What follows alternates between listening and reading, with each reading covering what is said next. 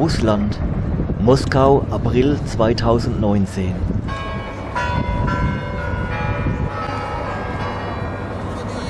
Karl-Marx-Stadt Chemnitz for the Russian army. Instrument I made it, it's not guitar. This Yeah. is idea, uh, Russian style, Russian gusli and balalaika, and Arabic.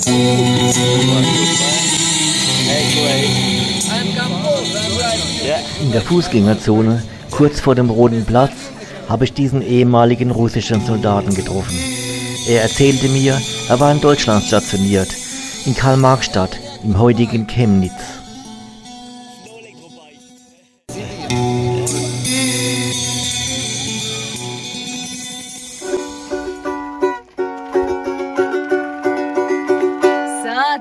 Mein Abenteuer.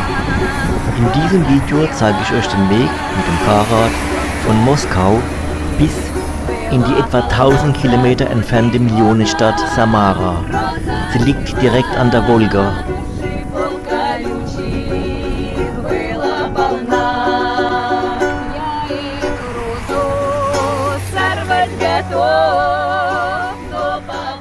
Inzwischen ist es schon fast zur Gewohnheit geworden, auf russischen Autobahnen oder Schnellstraßen mit dem Fahrrad zu fahren. Und es gab auch aus meiner Sicht keine andere Möglichkeit. Man sagt, Samara ist eine moderne Stadt und das Zentrum der russischen Raumfahrt. Nachdem ich den ganzen Tag in der Kälte auf der Autobahn oder vielleicht auch Schnellstraße gefahren bin, versuche ich ein Nachtquartier zu finden. An einem Dragstop oder LKW-Raststätte halte ich an und frage nach einem Zimmer. Die meisten LKW-Fahrer schlafen in ihren Fahrzeugen. Doch man hat ein kleines Zimmer für mich gefunden, in dem ich übernachten kann. Am nächsten Morgen habe ich Dima kennengelernt, einen russischen LKW-Fahrer. Und als er hörte, dass mein Weg nach Samara geht, bot er mir an, mich ein Stück mitzunehmen. Und schon sitze ich auf dem Beifahrersitz, mache es mir bequem und die Fahrt geht weiter. Der LKW hatte einen USB-Anschluss und so konnte ich mein Handy und meine Kameraakkus aufladen. Sorry für diese verrauschte Musik. Das ist die Originalmusik, die gerade hier im Hintergrund im LKW gelaufen ist.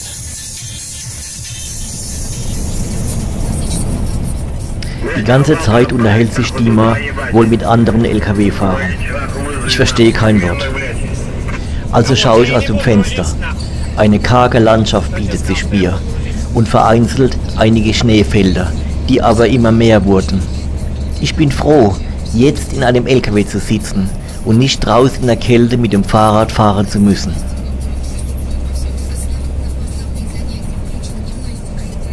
Die Straße hat keinen Randstreifen und es wäre lebensgefährlich, hier mit einem Fahrrad zwischen all den LKWs zu fahren. Дуга там висит, нахуй. У нее пониже она, да, хромирована. Ну, ниже не надо, нахуй. Все камни, нахуй, туда, блядь, пизда им будет. Ты хуйца, нет. Да вот они с уровня факт нормально. Даже ничего переделывать больше не буду. Висят, нахуй, висят нормально, мне и так, нахуй. Ебашь, наверное, довелел они, да? Я не знаю, нормально так светит. Ну, у меня средний надо. Ich genieße die Fahrt im warmen LKW. Draußen ist eine eisige und karge Landschaft. Ich bin sehr froh, jetzt nicht hier mit dem Fahrrad fahren zu müssen.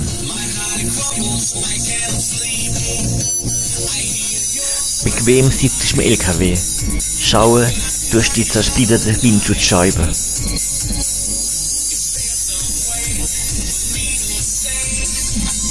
Am Straßenrand tauchen vereinzelt kleine Häuser oder Dörfer auf. Ein Friedhof zieht langsam an mir vorbei.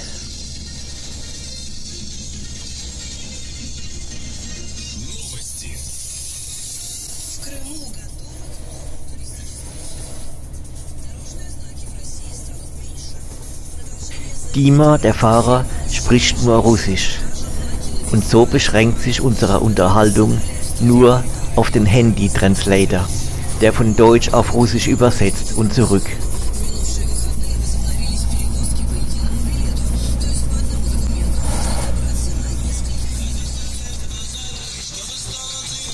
Nach fünf Stunden LKW-Fahrt sehe ich zum ersten Mal auf meiner Seite die Wolga.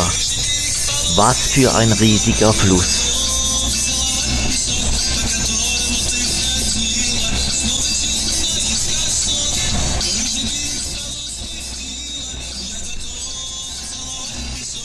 Circa 400 Kilometer konnte ich so mit Dima fahren.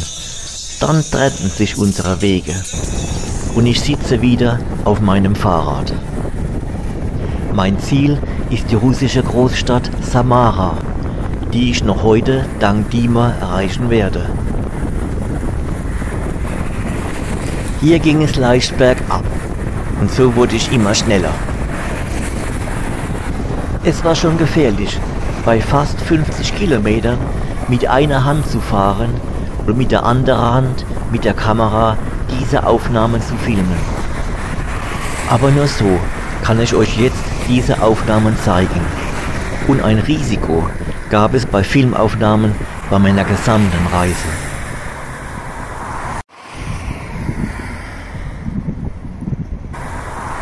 Endlich bin ich an der Ausfahrt nach Samara angekommen.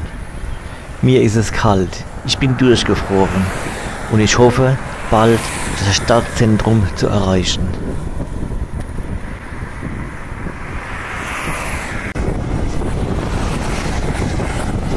Ein Schild sagte mir, es sind immer noch elf Kilometer bis zum Zentrum.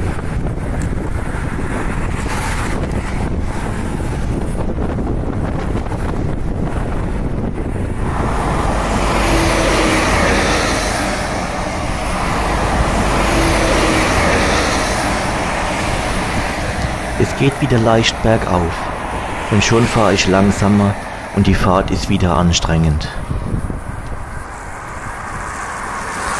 Ich weiß nicht, wie lange ich gefahren bin. An mehreren Schildern Ausfahrt Samara bin ich jetzt vorbeigekommen, aber von der Stadt ist immer noch nichts zu sehen.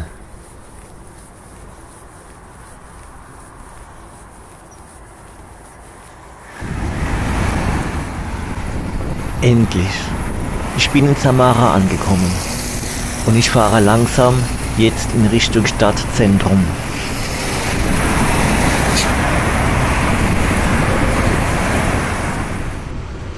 Ich bin auf der Suche nach einem Hotel oder einer Übernachtungsmöglichkeit.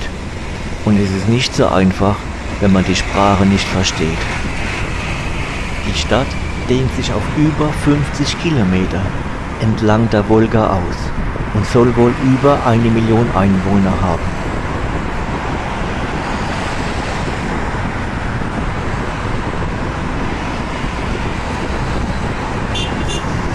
Ein Autofahrer fährt hupend an mir vorbei.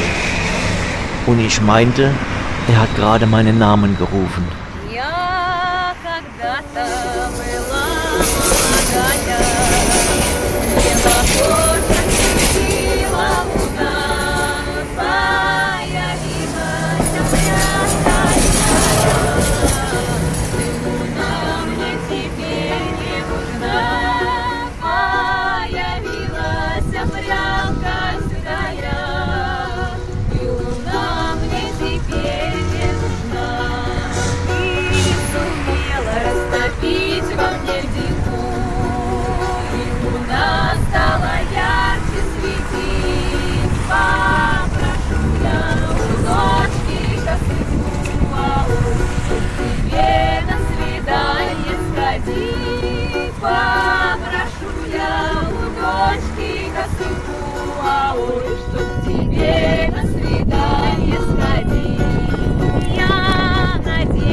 Und jetzt stehe ich bei meinem Fahrrad in Samara an der russischen Wolga.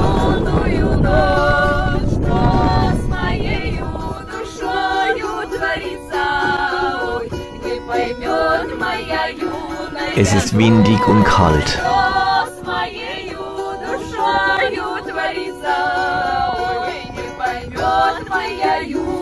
An der Wolga lerne ich Galina kennen, die in Samara wohnt.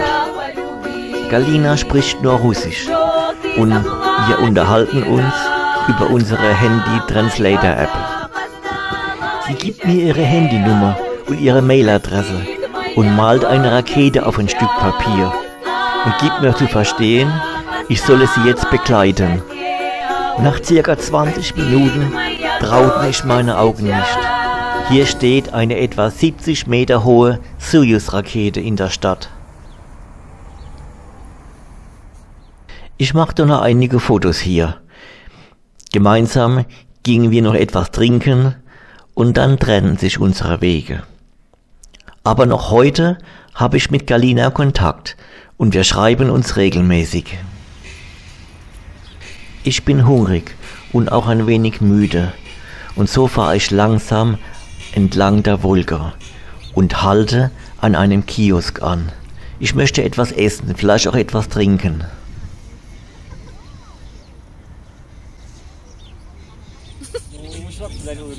Ich bekomme von Tatjana einen Becher mit Kaffee geschenkt. Sie betreibt hier an der Wolga an der Promenade ein kleines Kiosk.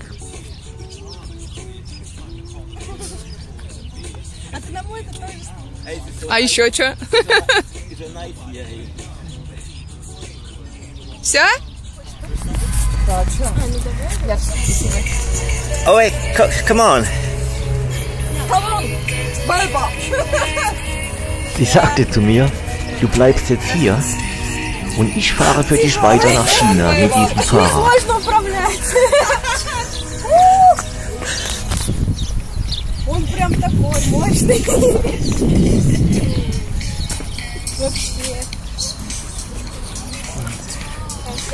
Ja, es ist nicht so einfach, mit diesem vollbeladenen schweren Fahrrad zu fahren.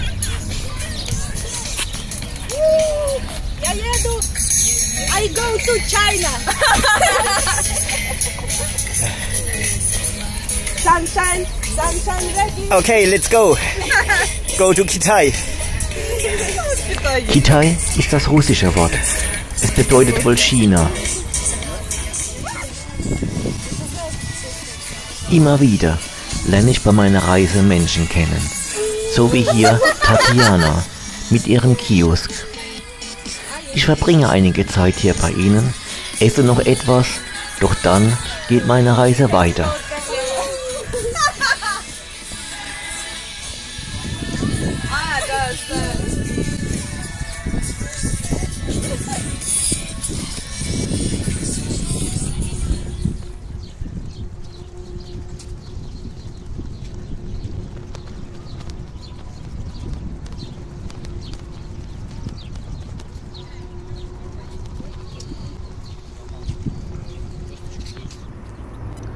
Auf dem Rückweg zu meinem Hotel kam ich noch einmal an dieser riesigen Soyuz-Rakete vorbei. Ich war so mit dem Filmen beschäftigt, dass ich gar nicht bemerkte, dass plötzlich Anja an meinem Fahrrad stand. Es stellte sich heraus, dass ihre Wohnung genau gegenüber von meinem Hotel lag. Und so sind wir gemeinsam ein ganzes Stück gegangen, bis wir an einem Park vorbeigekommen sind. Jemand spielte hier mit seiner Trompete und wir haben uns ein großes Eis gekauft. Ein Eisbecher mit zwei Löffeln. Kennt ihr das Gefühl, wenn man jemanden trifft, mit dem man sich sofort auf Anhieb versteht? Ich glaube, bei Anja war es genau so. Oh my god. You first.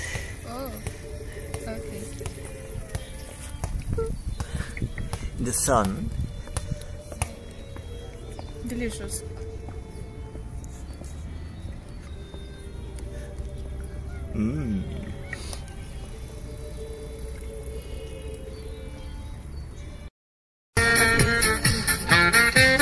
Was für ein Tag in Russland in Samara. Wenn ich heute darüber nachdenke, ich bin ein Fremder gewesen, ein Ausländer, ein Deutscher. Und Anja kannte ich vielleicht seit 30 Minuten.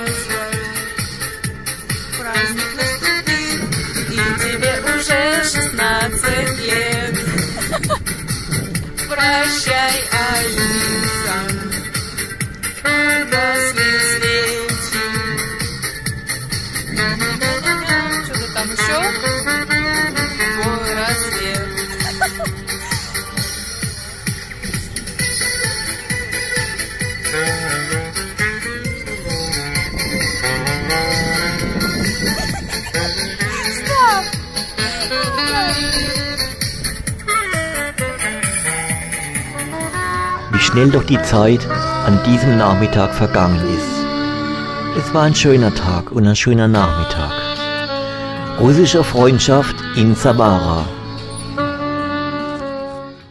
Ich bin jetzt in meinem Hotel angekommen. Das Renaissance Hotel ist ein Luxushotel im Herzen der Stadt.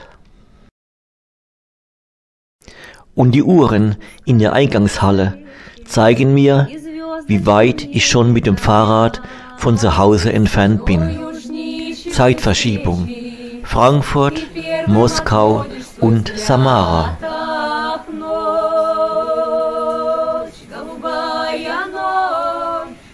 Сколько на небе звезд, только в начале мая ты мне приносишь слез, ах, ночь,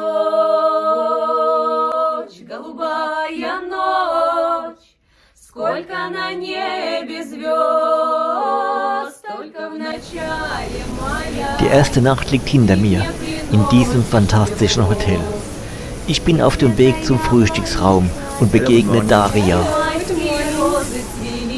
How are you? Do you like Samara? Yes. You can say you, you like this hotel. Yes. Do you like this hotel? Yes. Yes. Yes. Very good. Das Renaissance Hotel ist ein russisches Luxushotel. Ich bin auf dem Weg zum Frühstück und gespannt, was mich jetzt alles so erwartet.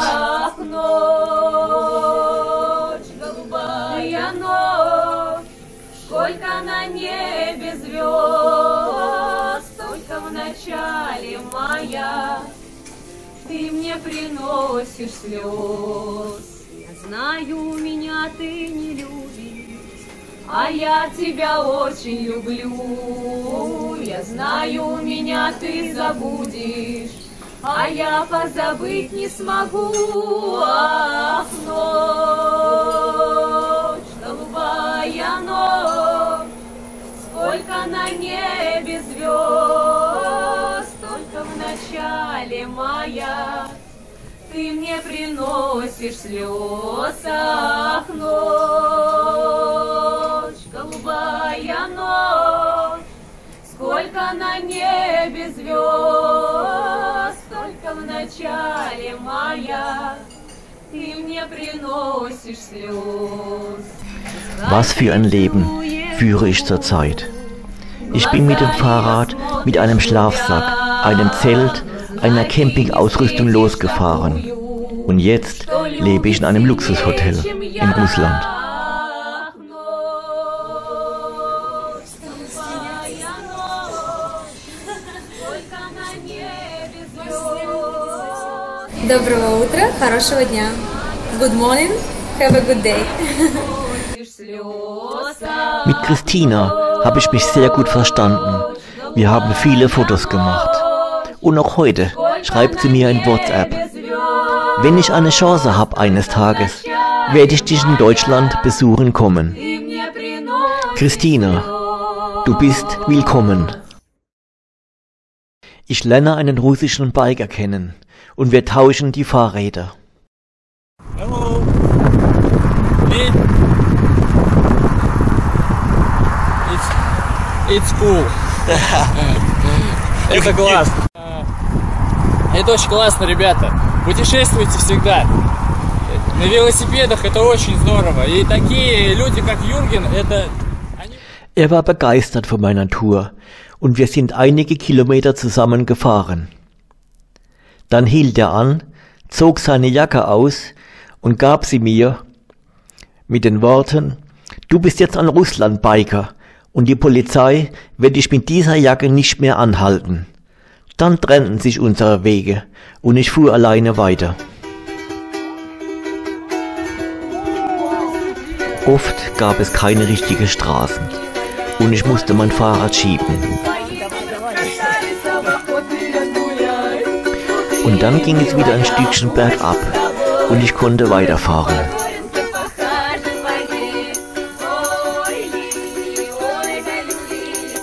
Und so schiebe ich immer wieder mein Fahrrad abwechselnd entlang der Wolga, bergauf und bergab, in der Hoffnung, bald wieder eine Straße zu erreichen.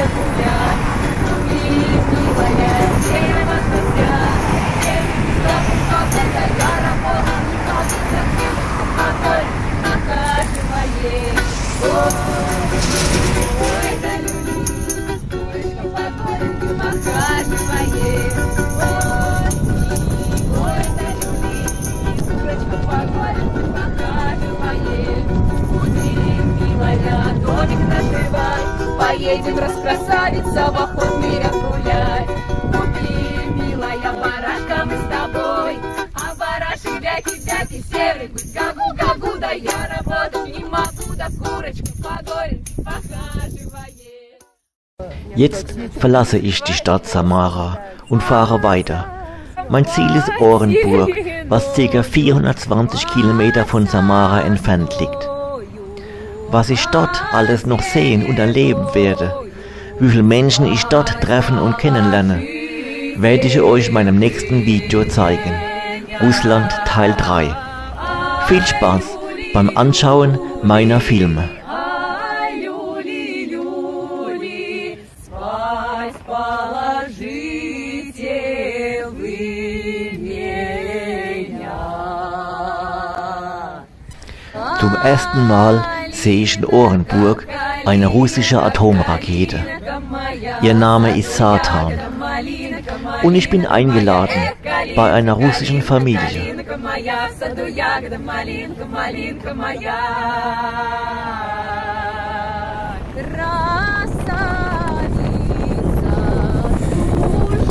Doch das alles zeige ich euch in meinem nächsten Film. Mit dem Fahrrad durch Russland. Von Samara nach Orenburg und weiter nach Kasachstan.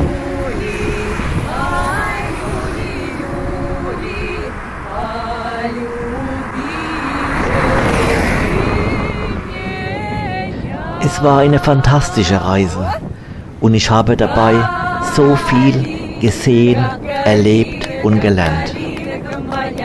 Alleine mit meinem Fahrrad von Deutschland bis nach China. Hier zeige ich euch meine Reise und auch mein Abenteuer.